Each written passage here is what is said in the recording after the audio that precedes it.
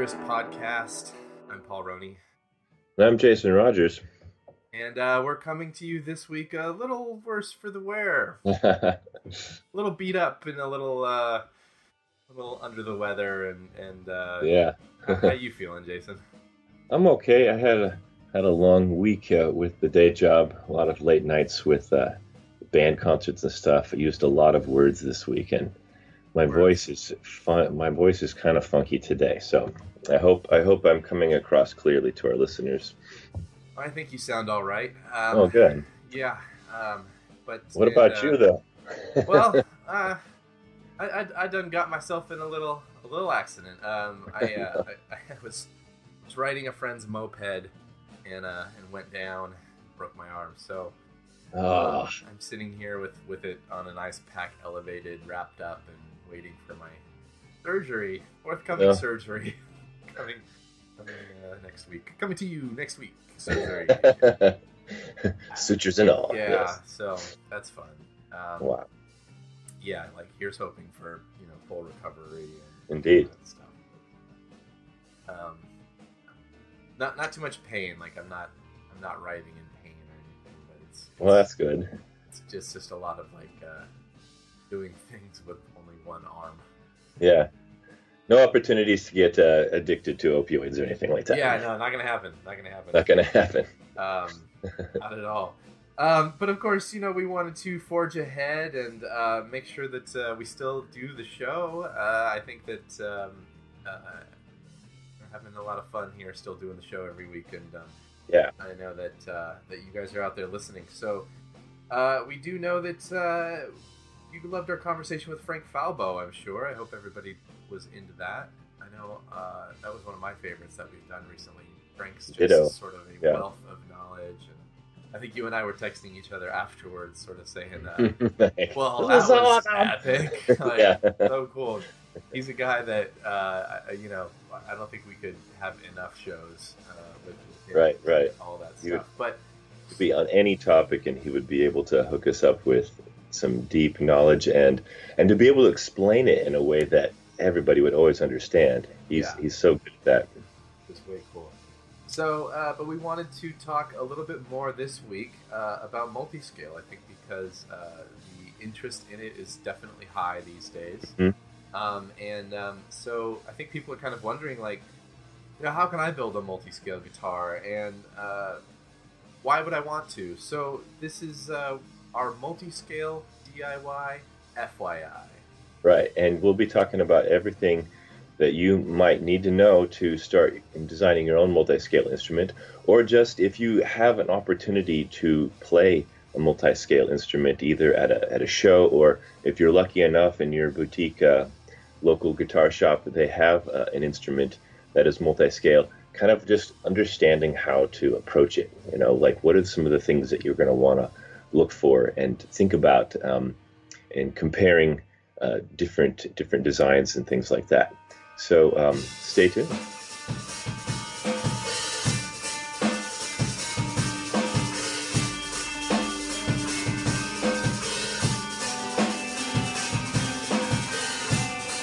So, Jason, what's all the hype about multi-scale? It's awesome. Why would someone want to play, much less build a multi-scale guitar, when there are just like way too many options in the standard scale instruments? Mhm. Uh, I mean, wouldn't it be more trouble to learn to play on? I mean, those fret those frets is all slanty.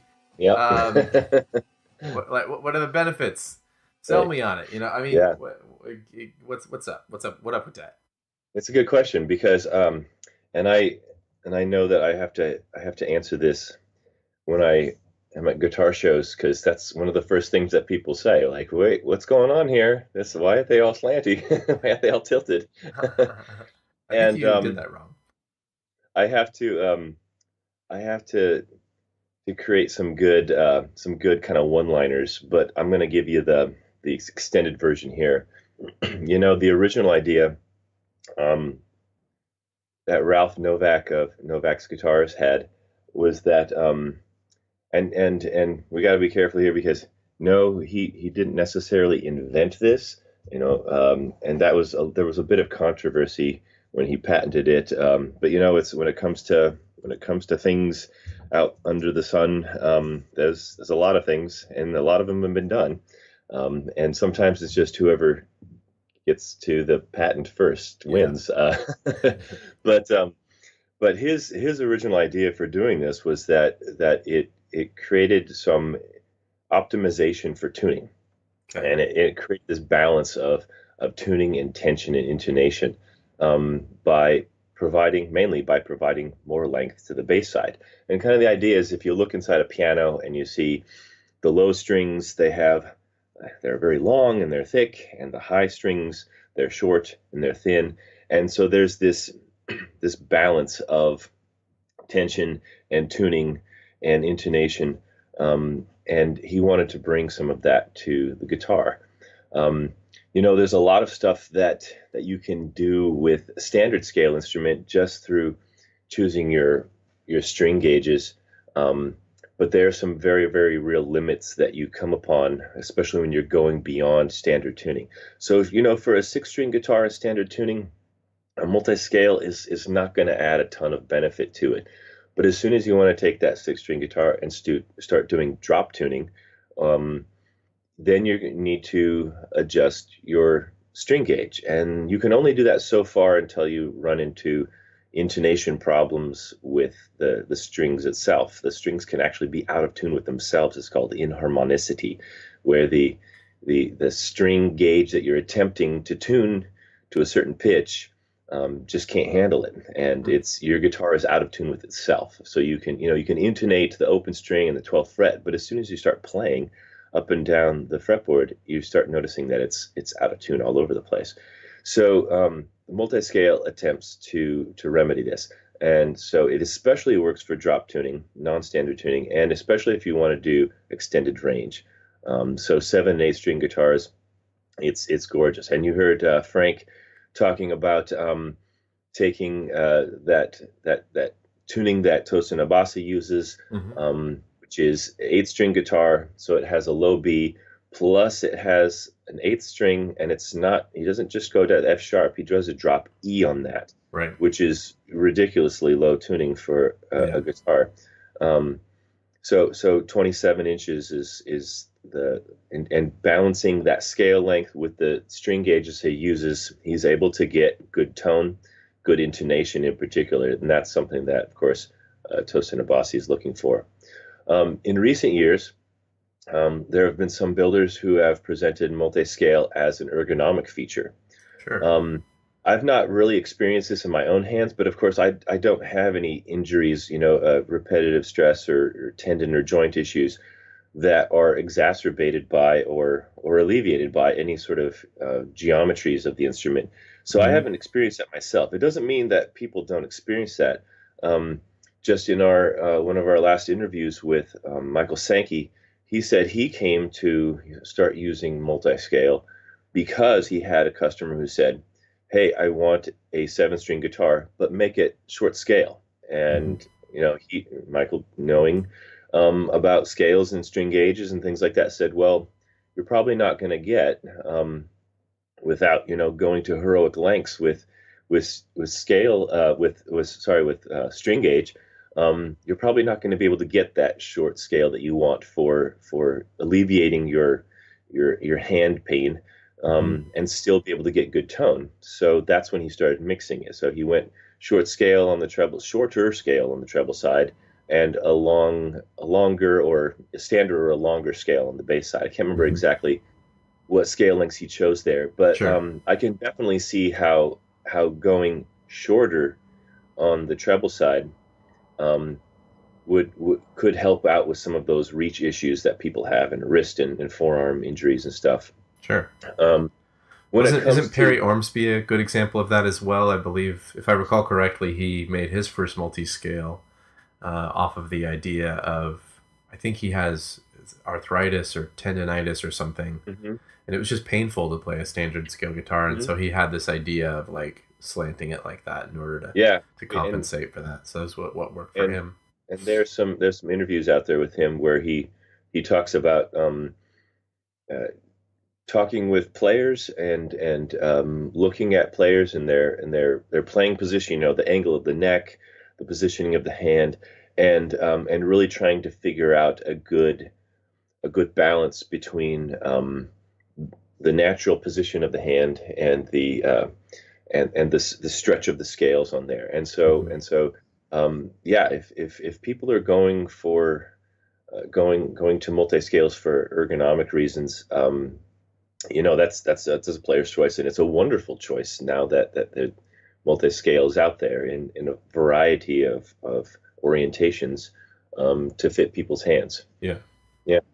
Um, when it comes to just like the general feel of a multi scale when you pick it up, a lot of it has to do with just how far and how um, how much the, those scales are stretched.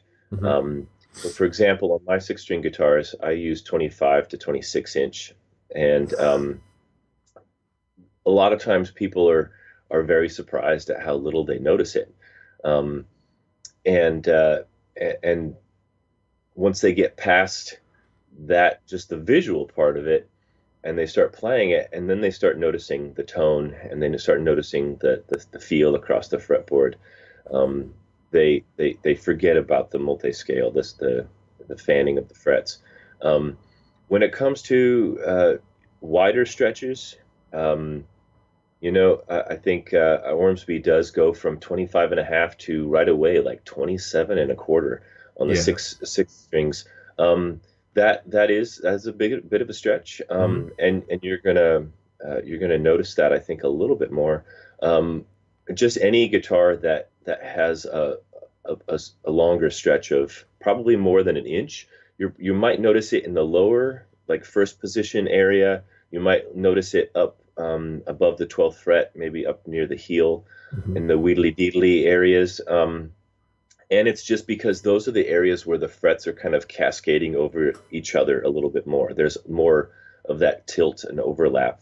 Um, but really, it's um, you know, it's something that uh, a, a, lot of people say, you know, I, I yeah, I might have noticed it at first, but um, they get past it really quickly. You know, 10, 15 minutes of playing, definitely. If you're, you know, you've got your new multi-scale guitar and you play it for a week straight, um, you're you're you're going to stop thinking about that. You're going to be surprised at how fast your hand adjusts and adapts to things, um, and then you just you're just excited and happy about tuning. You're excited and happy about intonation, and uh, that that nice even tension across the strings. Happy, happy, joy, joy, happy, happy, joy, joy, happy, happy, joy, joy, happy, happy, joy, joy, happy, happy, joy, joy, happy, happy, joy, joy, happy, happy, joy, joy, joy.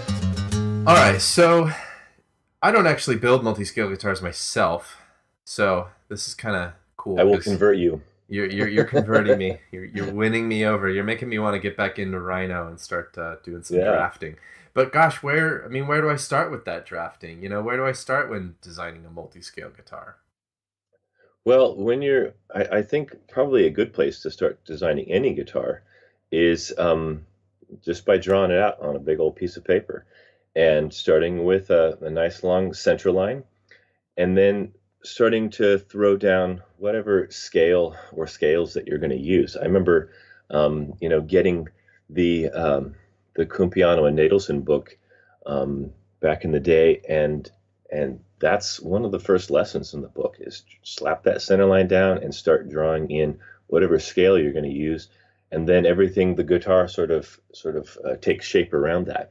And a multi-scale instrument is no different than that um, in the early days when I was when I was experimenting on big old pieces of paper, um, I was going to you know like um, StewMac and LMI to to just look at some of the the um, the, the, fret uh, scale calculators, the spreadsheets they had, mm-hmm. and um, I made some spreadsheets myself in Excel, and I was and I was like literally just you know printing out the spreadsheet with the numbers and then sitting down with my big old piece of paper with mm-hmm with a ruler and, and drawing everything out.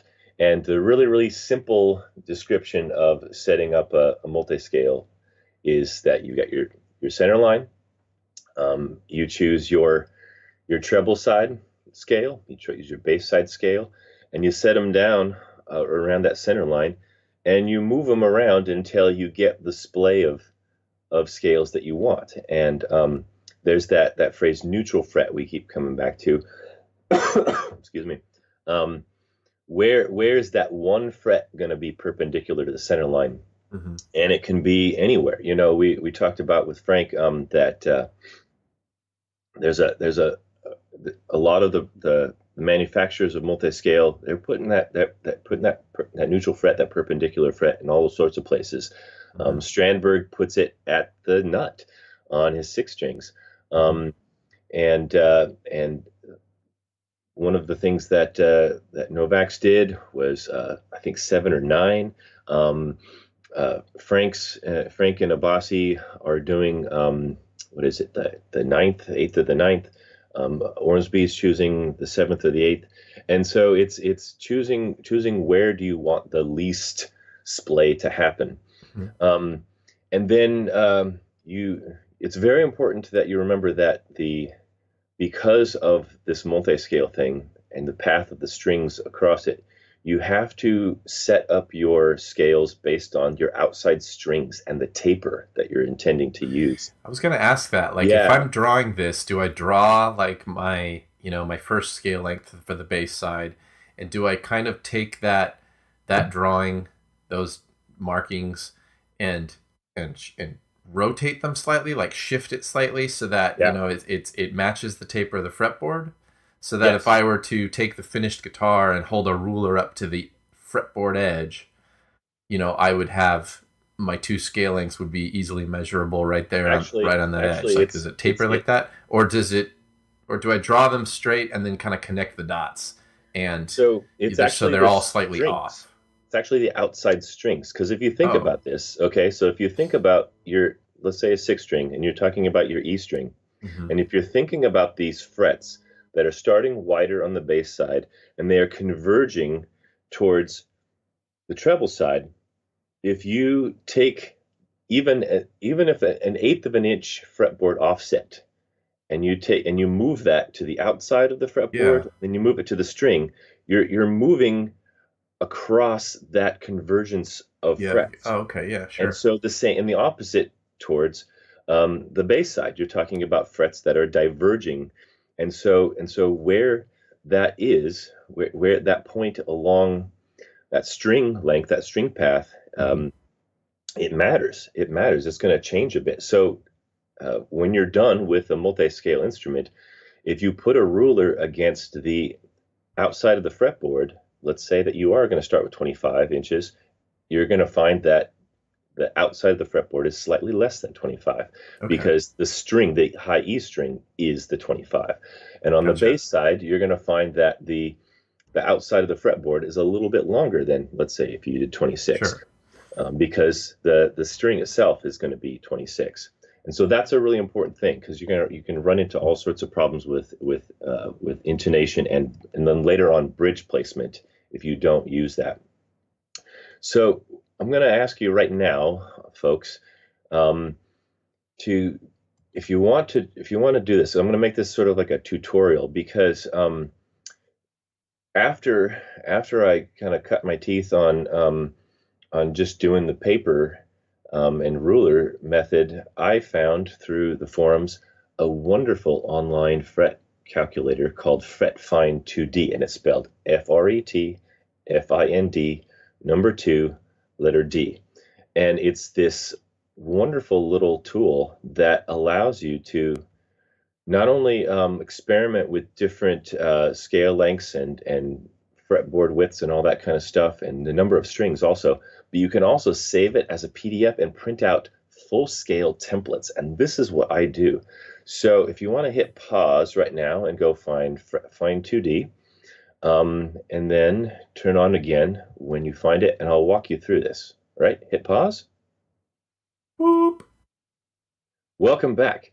So you're looking at FretFind 2D right now, and um, as you look at this screen here, um, you're going to find on the left-hand side there's a whole bunch of little little boxes where you can fill in different measurements. In the middle is going to be sort of a, a, a rendering of a of a fretboard in full scale from nut to bridge.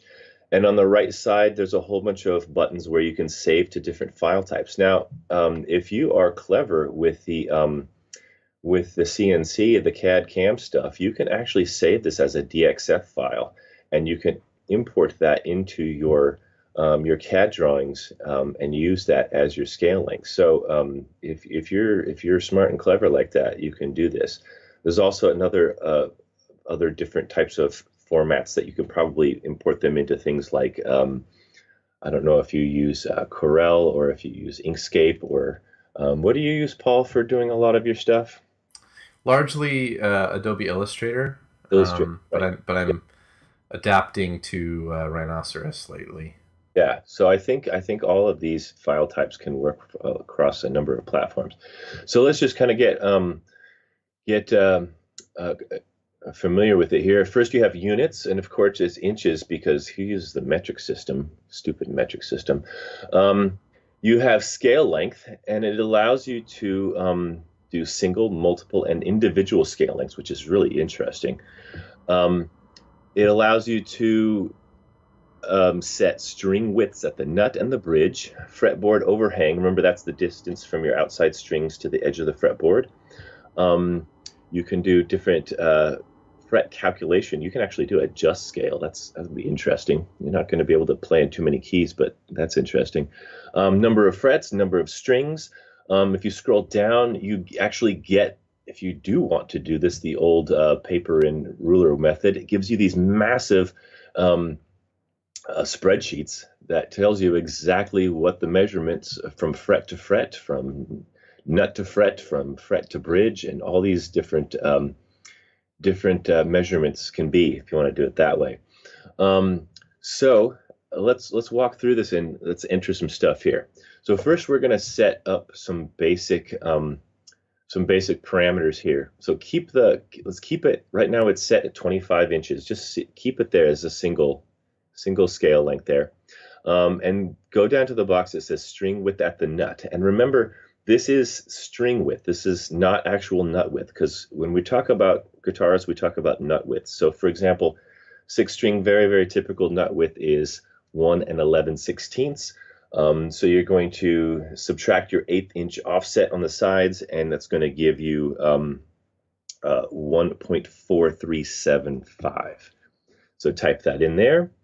Um, go to string width at the bridge. Now, uh, your typical bridge width is uh, for a six string across many instruments is uh, two and a sixteenth, give or take a, a smidge. So go to uh, string width of the bridge and type in 2.0625. Um, for fretboard overhang, um, you can, so this is going to set your actual your actual fretboard width along the full length of the fretboard. Um, so it says equal, nut and bridge, or first and last, or all. And so you can click through these and see these different ways of calculating your um, your your fretboard width offset from the string. Um, I like to do nut and bridge, and I like to have the offset at the nut be an eighth of an inch. So type in 0.125 and I like my fretboard to flare out just a tiny bit past the strings, a little bit more than eighth of an inch, um, going up towards the twelfth and, and up towards the, the heel of the guitar. Um, and so I I put in um, 3 16ths inch there. So I uh, put in 0.1875. And when you do this, um, you can keep it at uh, equal root, 12th um, root, wait, the 12th root of 8, 8, 17. What is that? What's that rule? The rule of 18, whatever. Keep it there.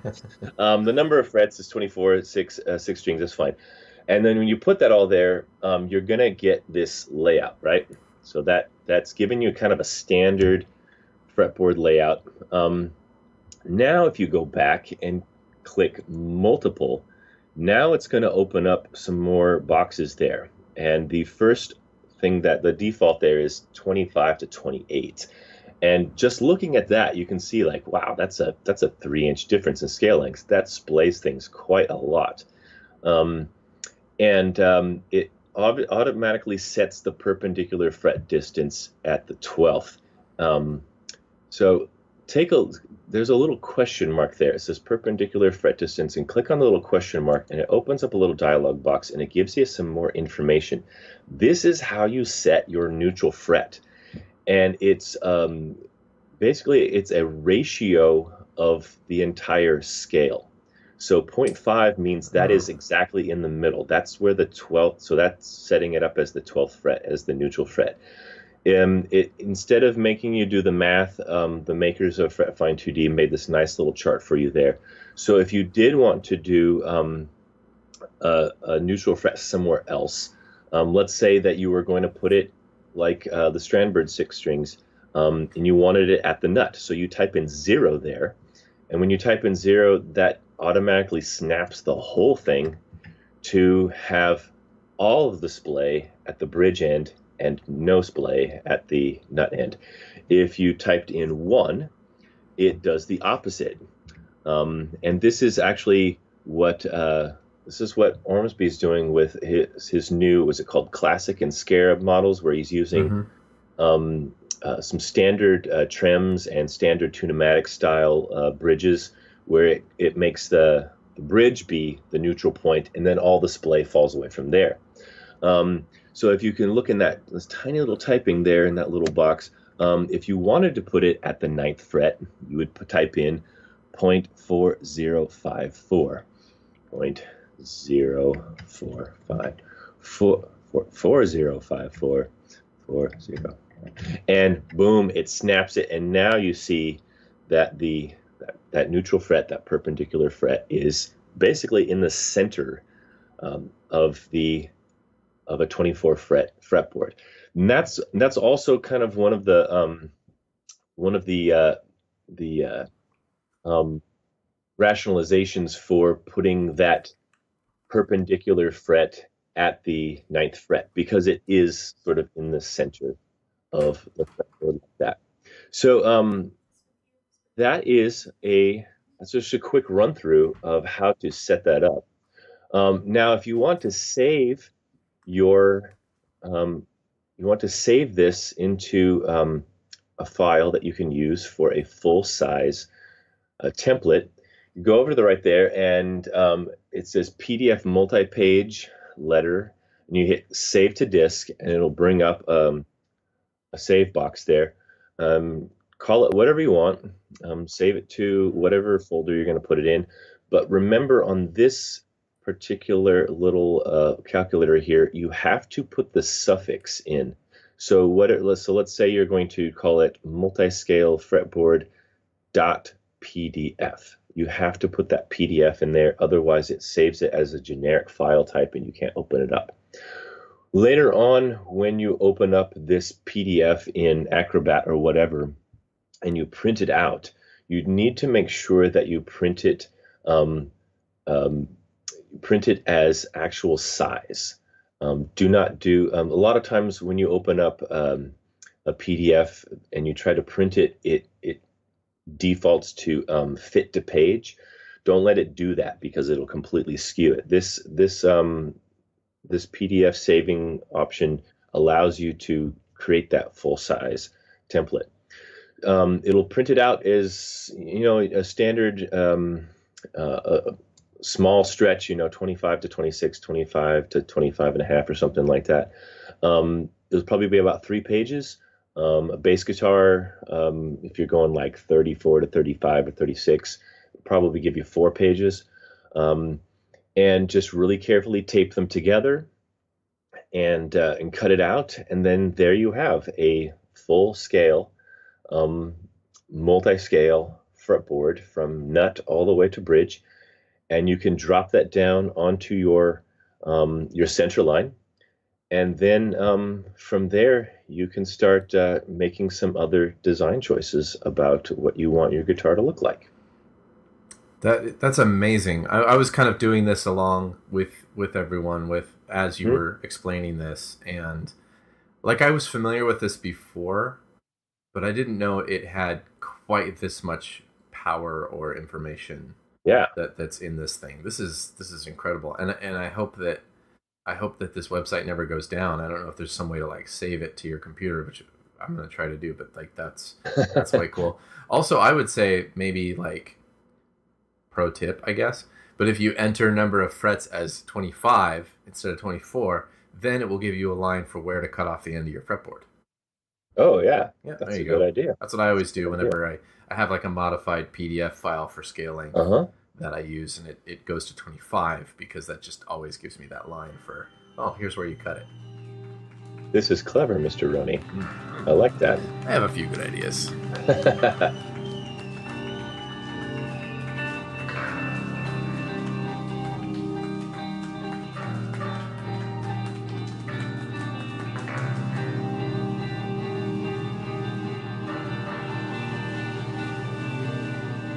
Okay, so obviously we've got our scale length. We Mhm. even have our fretboard taper now, thanks Yeah, to the FretFind super cool. 2D. It's a pretty incredible. Um, what about the nut and the bridge? I think that's obviously going to require some special consideration. Um, you know, we're, we're not just slapping any normal hardware or Right. uh, or, or or bone nut or whatever on there. Um, so so what are we thinking about there? Like, what are some of the, the tips and tricks as far as the nut and bridge are concerned? So for any guitar, when you're when you're thinking about the nut and how the strings um, travel from the nut to the the headstock and to the tuners, um, you, you need to think about that path, and you need to think about um, uh, an appropriate you know breakover so that there's enough downward pressure on the nut that that it you know the strings don't jump out and Mhm. So you don't get some weird buzz and stuff like that from the nut end. Um, and generally, there have been two solutions, and uh, the one is the angled headstock. And whether you're cutting that, doing a one-piece neck where it's actually cut out of uh, of the, the blank, or whether you're doing a scarfed headstock, which you're doing these angled cuts and and taking that piece of the end of the of the neck blank and flipping it over, so now it's at, falling away at an angle, whatever that angle is, somewhere between probably eight and 15 degrees, depending on your your construction style. Um, but when you have a when you have an angled nut from the multi scale, now the strings are falling over that, and the strings projection towards the tuners is different. Um, oh, I forgot about yes. There's the the flat headstock too, the, the Fender style flat Mhm. headstock, just to Sure. drop down, right? Um, so yes, but in both cases, you've got this angled nut now, and um, and how do you how do you deal with that? So um, if you just simply do a um, if you just simply take like let's say uh, your angled headstock, and you just change the angle of the nut, you start realizing that as the strings come over the nut, they're going to crash into the edge of the the, the, the fretboard that's continuing, or they're going to crash into the surface of um, the headstock itself. Just like the Dave Matthews song. crash into you. so Sounds there's like a been a couple. yeah. Um, and and the same thing with the flat headstock with the with the Fender style, just you know uh, lower elevation. The, the the headstock plane is at a lower elevation than the the, the top of the fretboard. Um, so so what do you do? Well, there's a couple things that you can do. Um, one is that some people um, will simply take that extra little triangle. So if you imagine just a reg- your normal fretboard, and now instead of the nut being straight perpendicular across the top of it, it's now angled at some whatever angle is resulting from your scale choices. And you've got this extra little triangle of wood there, right, on the treble side. So what do you do with it? Because that's where the strings are going to run into it. Um, one thing that some people do is just simply scoop that away. Um, and so it's either it's either just simply dropped um, to a lower elevation so that the strings don't hit it, um, or it's just sort of gracefully kind of scooped away. And I've done both of those things, and it works out fine. Um, some people um, adjust the construction of their headstock um, in order to create a, a fretboard that ends with the angle of the nut. And then, um, so so for example, uh, if you have one of those an angled headstock like Ormsby actually does an angled headstock, and then the headstock is additionally tilted towards the treble side, so mm-hmm. that the the the angle of the nut determines that that fall away of that side. Um, other people who do just the flat Fender style headstock, they simply create that scoop. There's that sort of uh, just kind of ramp from the fretboard down to the headstock face. They just angle that ramp, and I've done that too. Um, I've not attempted the uh, the actual angled and sort of compound angled headstock. That that is uh, a little bit of um, jiggery that I've not attempted yet. But I think mm-hmm. that is a really good that's a good um, solution if you can if you can figure out the geometry and the maths of that. Um, so it's it's uh, it does take a little bit of consideration. You are going to have to adjust your construction a little bit to um, to take care of that. One thing that I did try also because um, I use zero fret on all my guitars. Mm-hmm. Zero fret is really nice, um, just anyways, because uh, the way that you dress your frets and the way that you um, you know leave that zero fret alone, um, it sort of creates this perfect action at the at the at the first position and at the nut end, mm-hmm. and then you don't have to worry about um, your your nut just becomes a string guide to, to deal with spacing, and you don't have mm-hmm. to worry about all the, the little nuances of um, of a, of carving a nut um, with exactly the right you know nut files and exactly the right angles and you know the bottom being curved and all that kind of stuff. Um, it's sort of a little bit of a shortcut, but it works well. Um, one thing that I tried doing once was I had the the zero fret be angled, but then I had the nut be um, perpendicular to the end, so that little no man's land of triangular space mm-hmm. talking about before there is now just an extra length of string, and mm-hmm. um, it I think I think it can work well. I've seen some people do it, and it works well for them. Um, I, I, didn't really like the results there because the string, when you bend it, it can still slide across that zero fret a little bit because you do sometimes end up with, you know, on your high E string, you can end up with, you know, half an inch of space there between the zero fret and the nut. Um, and so it can slide across there a little bit. So that's, um, I, have tried basically all, almost all of the options for the nut end. Mm-hmm. And they all have some benefits. They all have some some frustrations in terms of uh, construction and accuracy and stuff. Um, but the nut end is definitely um, an area of the guitar that you need to consider, uh, and and um, you need to be you know think about. And this is where all of those um, full scale drawings and all the different projections, you know, looking the top, looking, um, doing a side view, really thinking about how those strings are coming off of the nut and traveling towards the tuners and making sure they're not crashing into anything. And for those of you that are uh, using 3D modeling software, um, mm-hmm. these are the points at which you'll be very thankful for features like the three-point cutting plane, uh, you know, which lets I'll you trust uh, you on that. yeah, it's uh, it's it's one of those things where you can kind of just say here, here, you know, as reference points, draw a line, draw an angle, and whatever, and then you know you just start splicing things, and you get you know, there you go, you're done. You know, it's, it's a very, yeah. very cool features. So.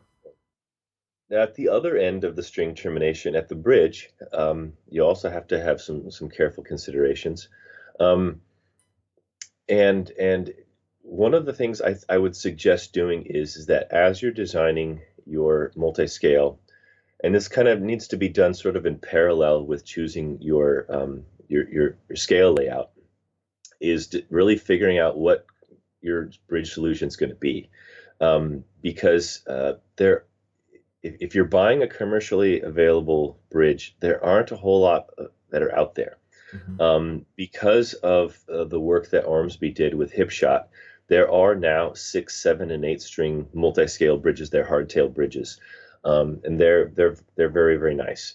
Um, and each of them, the six, the seven, and the eight, comes in about two or three different angled options. Mm-hmm. Um, they go from you know a mild angle to a, a, more radical angle, and so what you'll need to do is you'll need to um, uh, I don't know if it's directly available. I contacted Hipshot and, and asked them for the, the schematics on those, and they sent them to me.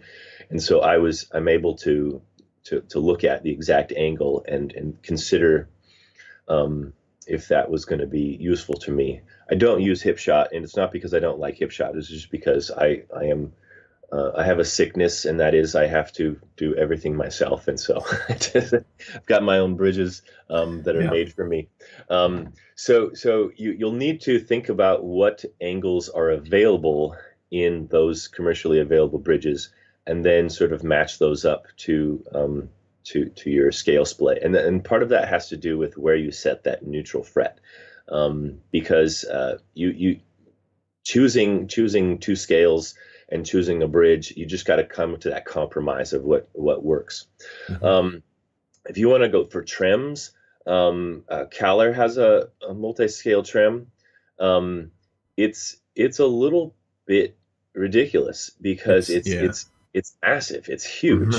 um, and partly it's because what they tried to do was they tried to maintain a um, a pivot point that is perpendicular to the center line and then the saddles sort of reach out and extend out from there. Mm-hmm. Um, but there are they do come in six, seven, and eight strings, and they do have different um, different extensions that you can put on the different uh, saddles to to give you different splays, different scale options. Mm-hmm. Um, one of the other options out there, of course, is that there are single string bridges. Mm-hmm. Um, and you buy them individually. You actually buy them individually. So, for example, ABM um, has singles. I call them the uh, the toboggan style um, because they look like a little like a little toboggan, you know. Yeah. Um, and then there's um, there are a couple manufacturers that are making single string bridges that basically look like you chopped um, a, a, saddle segment off of a fender style yeah. bridge. So it's just like yeah. an L shaped piece of you know base plate, and then it's mm-hmm. got you know a, a fender style um, bridge on there. Um, actually, actually, I think I think Novax sells these, um, and they look exactly like that. They're just chopped. They look like mm-hmm. they're chopped off of a, a yeah. fender bridge. Hipshot um, makes some of those for sure. Yeah, yeah. Hipshot has some. Um, there's also a company called Rondo that has some of those. They're actually um, fairly fairly inexpensive. Um, so that's um, those those are options. Um, the locate the locating of individual string bridges is is a little bit tricky because you're you're locating it um, not only along the scale length, the appropriate scale length for intonation to be correct, but you're also doing the string width, and all of that is at an angle of your of your scale termination. Your um, so so it's a little bit tricky. I've done it, and and you just have to go slow, be careful, do a lot of you know, put some blue tape down on it. Um, you know, take your actual saddles, set them down there, stretch some fishing line from the nut, and like look at exactly where these things are landing, mm-hmm. and be careful about um, where you're placing them. Um, there's an there's another solution that is becoming more commercially available, and that is uh, based on Strandberg's design. I call those the the barrel style, um, and and uh, those are mainly found on headless style um, uh, bridges, and um, and so they they just literally look like a, a, a little barrel, a little tube, and uh, there is a um, there's a knurled nut on the end there that you turn, and it, that's that's your tuning. And there's all sorts of little set screws and stuff for intonation, and those um, those usually have like a universal base plate and and those individuals um, are on there. So you know, Strandberg originally built those and actually was selling them for a while. I don't think he sells them anymore. Hmm. Um, but a number of other companies have sort of taken up that design. Uh, I can't remember the names off the top of my head, but um, they're out there and they basically look exactly like the Strandbergs, and you can mm-hmm. get them anodized in all sorts of different colors and stuff like that. So sure, there there are some options out there. Um, so um, you know when you when you design when you design your guitar. You start with that center line, you throw down your your scales, your template, and then really carefully consider where you're getting getting your um, getting your your materials and how you're going to construct that. Um, one other thing I wanted to add in terms of bridge construction, um, one other option is doing, um, and I saw, I can't remember where I saw this first, but uh, it's using the, the Wilkinson style um, saddles. So Wilkinson mm. style, um, you know, for, for the, the, the aftermarket um, trems, um, that that can they look like a Fender style, um, but instead of having the L-shaped base plate where the saddle is attached with the set screw from the back, the Wilkinson style ones um, just look like a little coffin, and um, and they are held down to the base plate through the top through the set screw. And then there's another. Sorry. Yeah, there you go. there's a difference. Coffin is the traditional Dracula shaped Casket uh, is the more there you go. straight. Thank, thanks. Yeah, Sorry. So they're yes. casket shaped. Casket Sorry. shaped. You know, delayed reaction there, but yeah. Dead person vessel. Um, yeah. yeah. no, they're they're rectangular in shape. Yeah. So um, I get I get my um, Wilkinson style um, from from Graph Tech, and um, so so it's uh, you, you have to fashion your own base plate. And on my first guitar, it was just it was just a it was a piece of wood. Um, I used Osage for the fretboard and some other things, and so it was this this um, base plate of Osage. And um, as long as you can drill holes accurately um, for those those hold down, those lockdown screws, um, it's a really good solution. I've seen a number of builders do this. Um, I've seen Crimson guitars do this. I've actually seen Mayones do this. trying to think of who else but it's a really simple option because you can you can build any sort of base plate that you want. I designed my base plate um, in um, in AutoCAD Fusion. Our friend John Songson really helped out with uh, cleaning up that design and and actually um, milled a, a, run of, of base plates for me. Mm-hmm. And out of out of aluminum and and they're they're beautiful. They they turned out so so well. Um, but it doesn't have to be that fancy. It doesn't. It doesn't have to be that right. fancy. If, if you're good with you know with metal and if you can make an aluminum or a brass base plate, mm-hmm. uh, if you can drill holes accurately, if you can tap um, holes accurately, um, it's it it's a it's a really cool way of doing that, and um, it's it's a lot less expensive than than um, than buying a you know one of the commercially available models. Absolutely. And I and I think also, you know, to a certain degree with some of this, you know, you might start with your center line and your fret layout and and then go to your, you know, your headstock and your bridge considerations. However, sometimes, you know, if you're limited to say you know you want to use the hip shot bridge, you know that you want to use, you know, mm-hmm. a certain locking nut or whatever. Um, and and then that may be the thing that dict- dictates your scale length. That may be yes. the thing that yes. one of the things that dictates, you know, exactly what the splay of your frets is going to look like. So mm-hmm. it may be a matter of go buy those pieces first and just take a lot of accurate measurements. Put those in yeah. your drawing first, and then you can kind of go from there. So it may be a little bit of reverse engineering, but uh, it, it can still be done. Yeah, no, that's that's that's a really good point, and it's it's those compromises between what you're trying to achieve with, with your scale splay and what you're um, what you're kind of set and locked into with with your with your components. Yeah, for sure.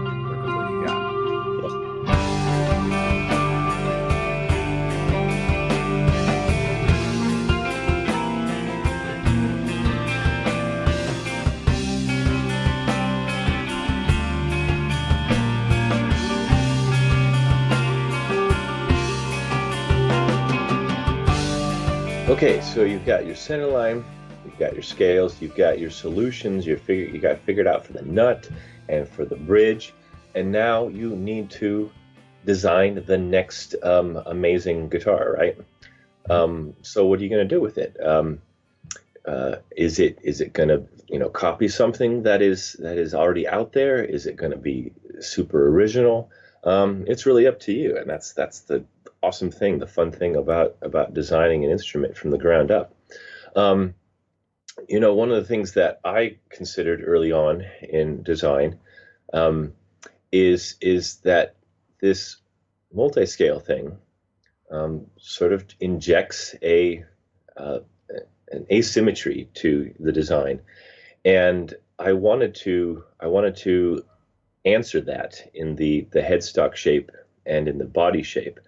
Um, so one of the things that I did was um, at that nut end, I um, I extended the nut out beyond the width of the fretboard and the headstock, and um, I extended the string lengths above, beyond the length of the, the nut in the headstock.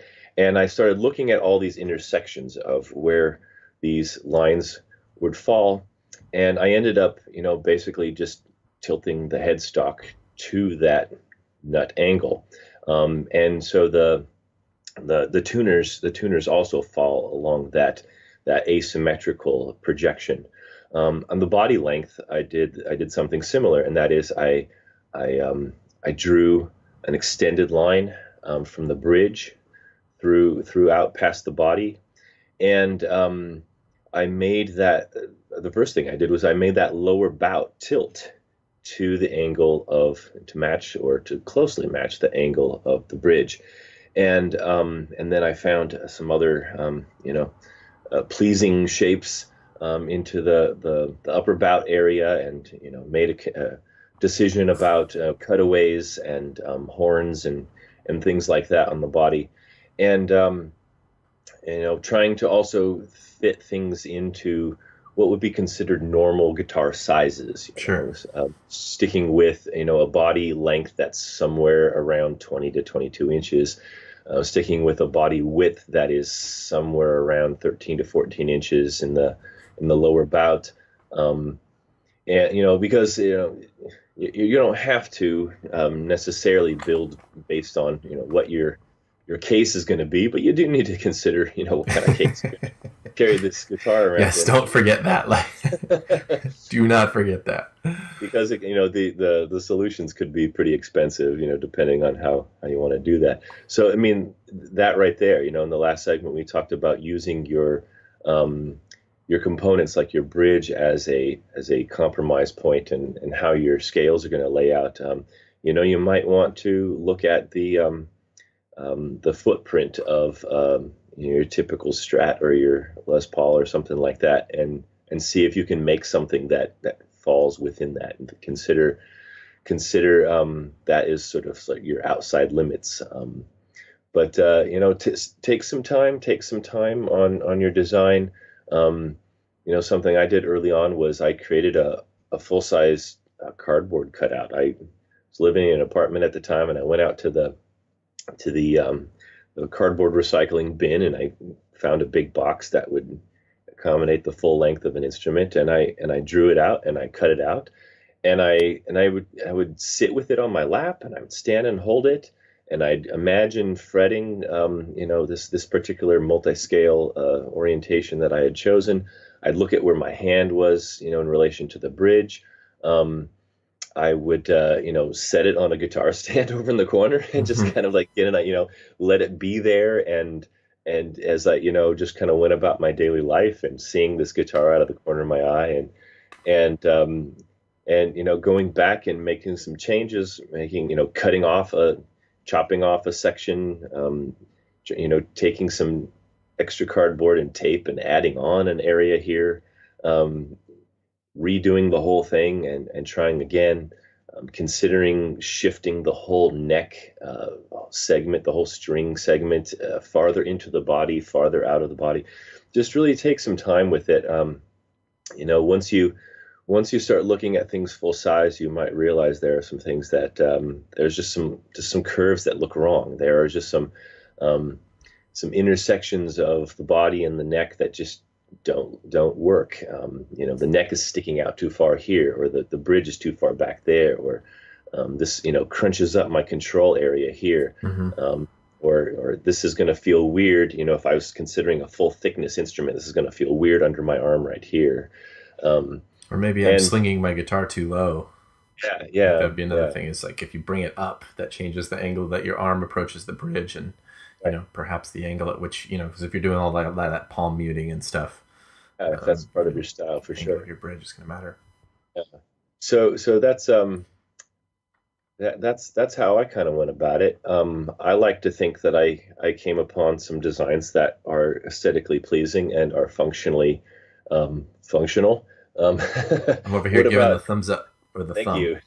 what about you, Paul? You're, you're you are a designer. You've designed many guitars and are still yeah. um, designing instruments and refining designs for Danger Brand. Mm-hmm. What um, if you were gonna throw down that that multi-scale um, and start designing a guitar around it? What would you do?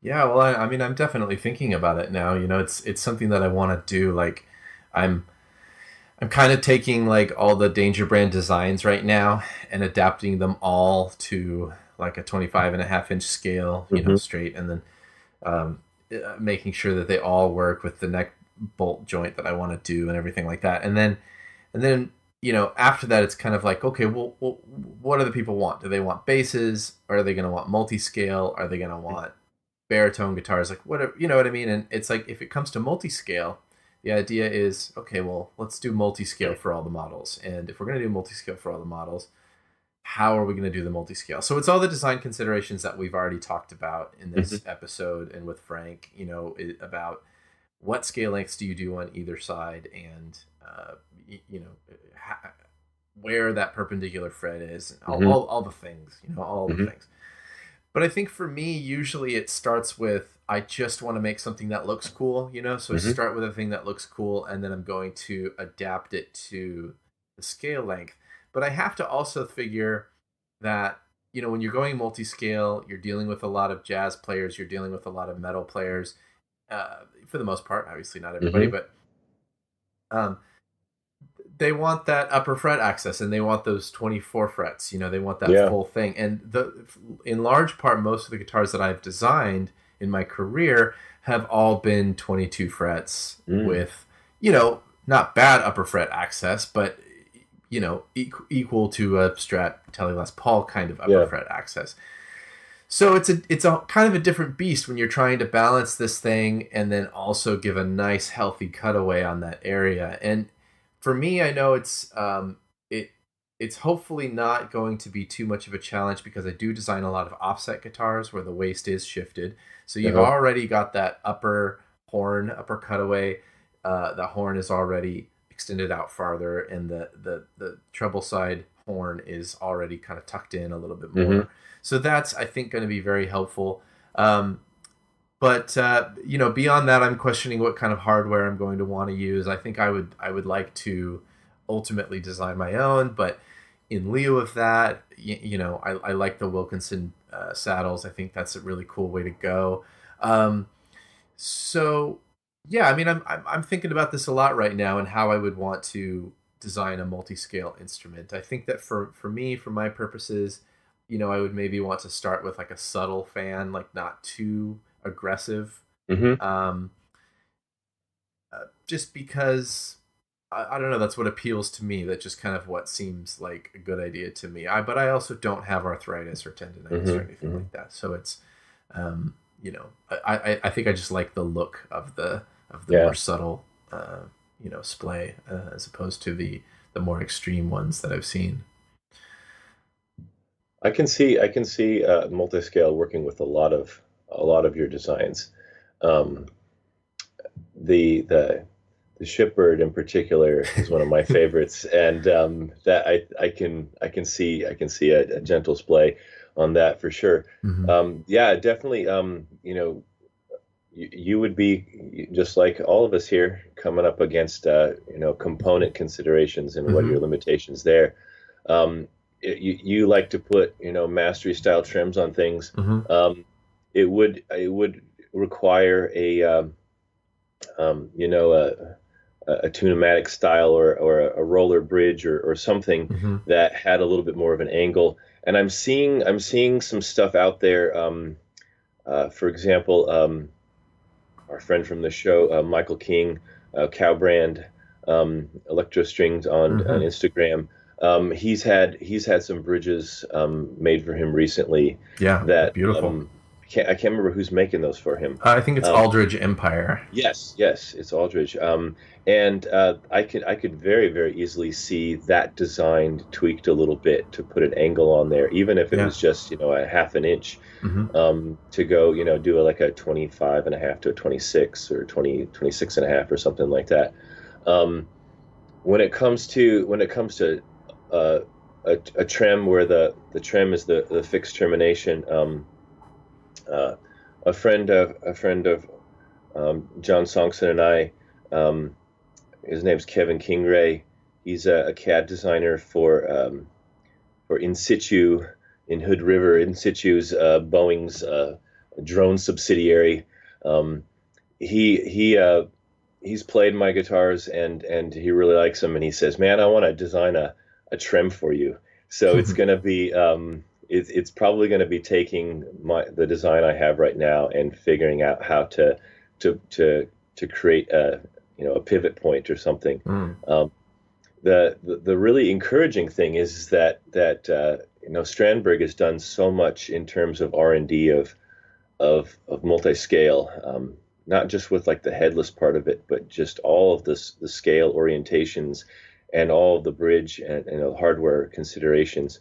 Um, so so on that you know on that guitar that six string guitar that Strandberg makes where where the the zero fret is the neutral fret and everything falls away from it they you know so that the bridge is angled the bridge mm-hmm. is completely angled mm-hmm. but he builds that with both a fixed fixed bridge and a, a trem um, yeah. and and what he found out was that you don't have to have a um, the string termination being being perpendicular uh, to the center line in order to be able to get do a trem thing and and let it be in tune and stuff. So in other words, that angled that angled bridge can rotate over that angle and it's okay.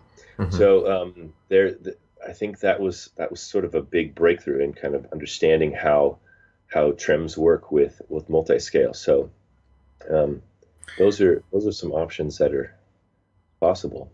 Yeah, well, and you know, you mentioned the Mastery vibrato that, that, that I'm a big fan of, and the bridge itself. I it, I think it could be rotated. It could be you know angled in order to uh, to to compensate for a multi scale, but you can only go so far with it. Yeah, you know what I mean. So that would be string widths. Yeah, exactly. So that would be a, a, consideration. I could maybe get away with like a, a very slight angle mm-hmm. on that. Um, so it would be a a, a really subtle fan. Um, and then you're, you know, string spacing at the bridge might not be ideal. So that's definitely a question. However, as far as just the idea of having a bridge that is separate from your vibrato, you know, and a yeah. vibrato that's just behind, uh-huh. um, you know, I don't see any reason why that couldn't work on a multi-scale instrument. Um, yeah. if, you know, if you had a bridge that, that works and, um, you know, it's, it's just that same concept of, you know, the strings sliding through the saddles or yeah. rolling over a roller or uh, you know whatever. Um, I think that that the vast majority of multi-scale instruments that are out there, um, you know, if they do have a vibrato, it's it's modeled after you know a Stratocaster style vibrato where it's mm-hmm. integrated into the bridge. Yeah. But I don't see any reason why you couldn't just have a bridge that is a standalone unit and then put even a Bigsby behind it. You know, anything yeah. that you like. You know, and and in terms, you know, you talked about that Strandberg, that pivot point being on an angle thing. A lot of times with those those mastery or that you know that traditional Jazzmaster style vibrato, because it's a single spring and it's and it's sort of balanced on this one plate with the arm offset to one side, mm-hmm. you actually kind of get more uh, down down downward motion yeah on the treble side than you do on the oh, bass. So your your vibrato is not a true like even vibrato the way that a mm-hmm. that, that, a Strat or that a Bigsby vibrato is. Mm-hmm. You know, it, it it drops all the strings the same amount. The Jazzmaster vibrato actually tilts a little bit more on the treble side. It's it's kind of progressive from low to high, right? And right. I think that that actually adds to some of its sort of characteristic sound, and it's my right. I use it a lot. I have used it a lot on a lot of my guitars because I uh-huh. like that sound. I think it works really yeah. well. It gives you this really sort of watery warble that is you know characteristic of what it comes from, but it is is unique and it's it's different from that you know that that Floyd Rose Stratocaster yeah. style vibrato yeah. that that's a little more short and staccato. You know, so it, it, it I think it can also depend on the sound that you're going after and and and the mood that you're trying to create with the thing. And, and you know, it's it's so cool that so many multi-scale instruments are being made these days because maybe at some point, you know, we'll see some sort of like you know wider string spacing mastery bridge that we can you know put at an angle and you know yeah well i mean uh, when, like when it came to when it came to those those Hipshot bridges it it it required somebody like perry ormsby who was was going to a level of um, of manufacturing production that um, that he he had the he, he just started having the buying power to mm-hmm. to be able to work with uh, a, a, component manufacturer to to make that happen. So so it's I think it's going to take I think it's going to take a few other people um, being able to do that, and instead so instead of having maybe you know just a, a one-off um, bridge or something that like that machined for um, for a single instrument or something like that, having a um, working with a with a, a component company to be able to put those designs on file with them and uh, whether it's a it's a made to order thing or whether it's something that they start offering because they realize that there's a demand for it um, it's gonna it's just gonna take more people doing it and and and demonstrating that it is uh, it's a viable viable option um, I mean just just what you're talking about right there with the uh, that that mastery Jazzmaster style having sort of that um, um, you know detuning you're not only just detuning it when you when you dive down but you're de- detuning it across the strings there's precedence for a certain mm-hmm. sound yeah. so you you know you don't have to be able to bar a six string chord and have it you know detune all perfectly in tune with mm-hmm. relation to each other mm-hmm. um, there are different things that different people want um, and so it's it's just going to be a matter of of uh, getting those on some instruments getting some attention um, and uh, and and letting and letting people uh, kind of vote with their their wallets on, yeah. on how on how um, on how the future of guitar design looks and sounds. Future. Future.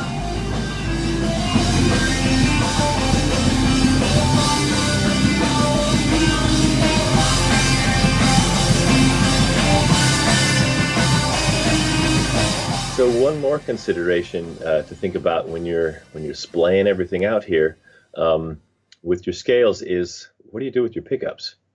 Um, and uh, there are there are examples. There is precedence for simply doing nothing. You just you just yeah. put them where you normally put them. Normal pickups. Um, normal yeah, angles, straight yeah, up and down. Yeah, perpendicular with the center line, and that's fine.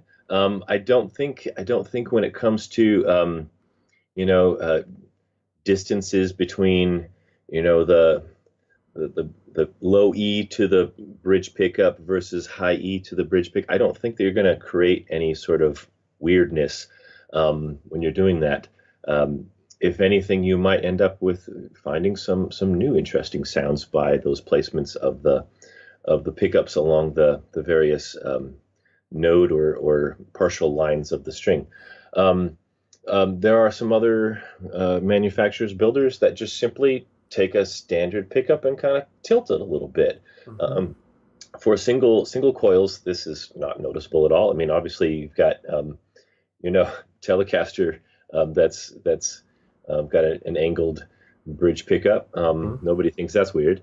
Um, when you take a you know a rectangular humbucker though and tilt it, that can kind of look a little bit just, just like it's just simply tilted. Um, but there are some uh, some manufacturers, uh, some some aftermarket pickup uh, manufacturers that do have um, custom base plates. So basically, instead of just taking a, a rectangular um, humbucker and tilting it, they do they do the parallelogram thing.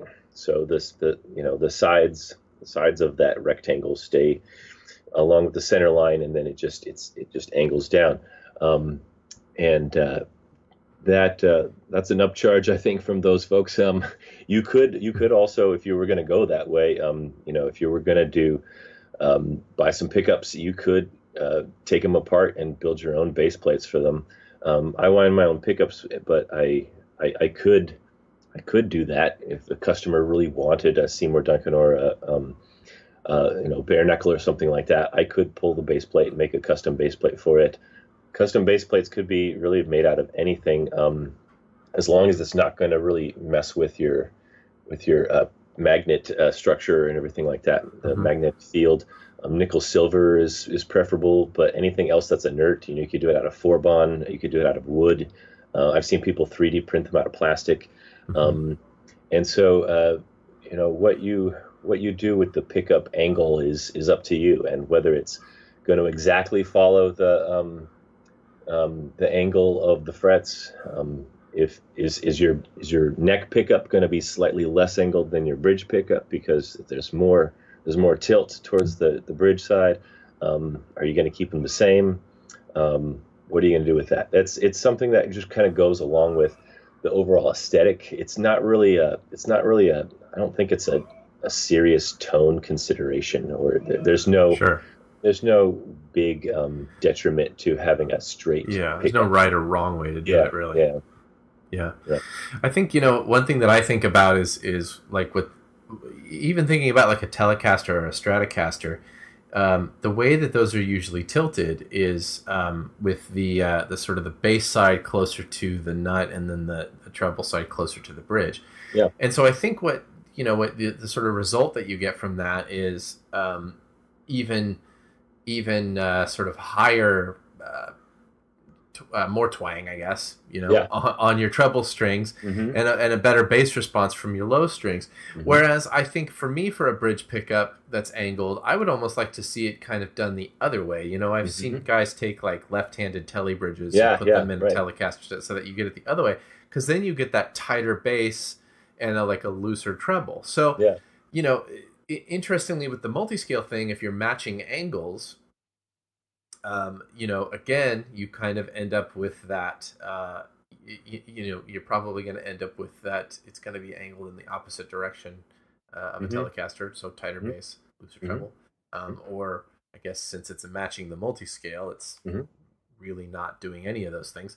But yeah. uh, you know, you've seen that Perry Ormsby uh, single coil neck pickup that he does with like the 27 fret guitars um, mm-hmm. that that is like right up against the fretboard, and it's angled way the other way, right? Right. Or the, right. the I guess the quote unquote normal way.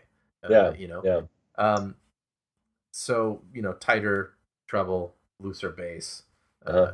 So there's all different ways to do it, I think. And again, there's just there's no right or wrong way to do it. It's just kind of total preference. Yeah, and if you are taking um, standard um, components, um, whether you're whether you're buying pickups or whether you're um, whether you're you're you're winding your own, um, as you take the, the those those bobbins and you rotate them, as you angle them, you end up having a uh, a narrower uh, spacing, pole to pole spacing. So so yeah. so people like like Perry Ormsby, who's doing that very radically angled single coil um, on his I can't remember if it's the Hype or the SX guitars. Um, the um, they have he has to have um, custom bobbins made for those because the the pole the pole width would need to be wider, and um, you know that's something I, I, buy my I buy my bobbins from Mojotone, and I figured out um, this kind of happy compromise with the angle, um, so it looks good with the, the display of the frets, but also you know I I again full scale drawings and you know on my Fretfind 2D um, templates you know, you take a bobbin, you set it down there uh, on the center line, and then you start tilting it, and you see at what point in time do the outside strings um, start falling beyond the bobbin, and when where would you want to stop that? You know, so I, I get the widest the widest string spread. Um, was it 50 52 millimeter um, string spread on on those bobbins and I, I tilt them just so that it catches it just right mm-hmm. and it works out pretty well yeah it works out pretty well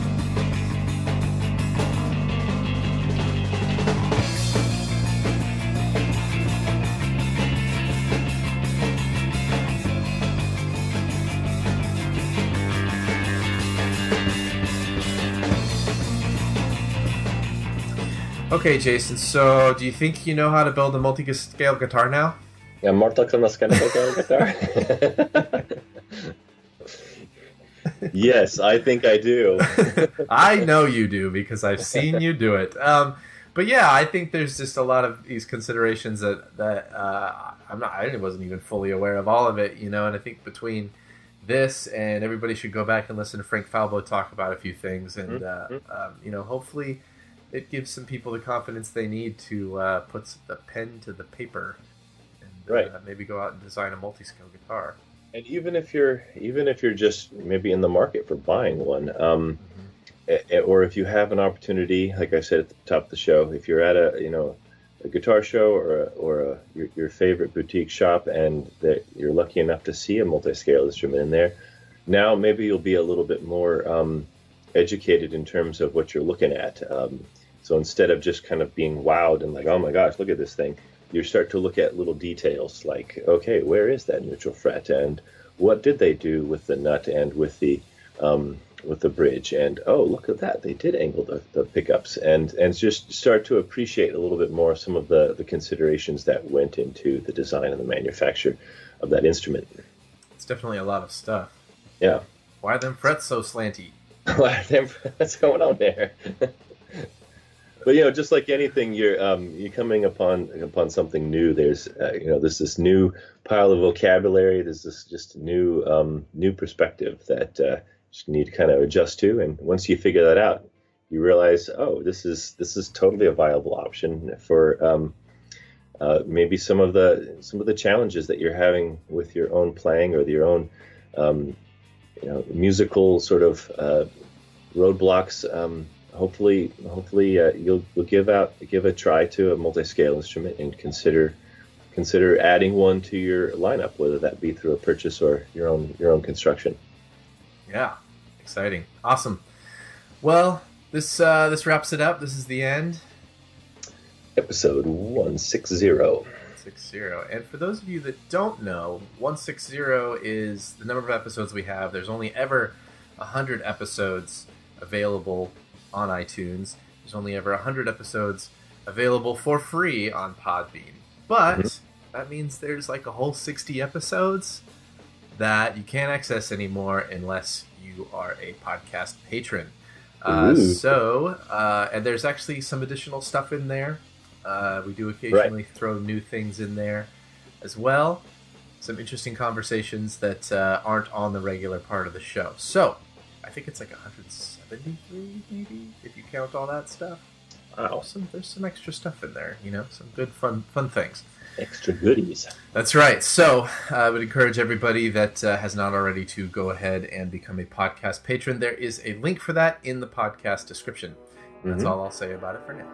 So thanks everybody for listening to the show. I've been Paul Rhoney. I've been Jason Rogers. Bye.